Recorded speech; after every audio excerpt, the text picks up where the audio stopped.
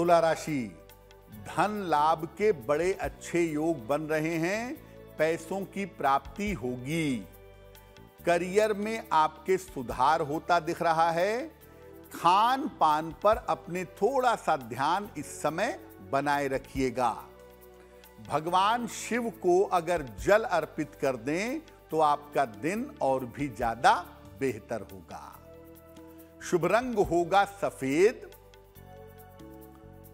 और भाग्य का मीटर आपको नंबर दे रहा है, पचहत्तर प्रतिशत उत्तम भाग्य आपके साथ बना हुआ है।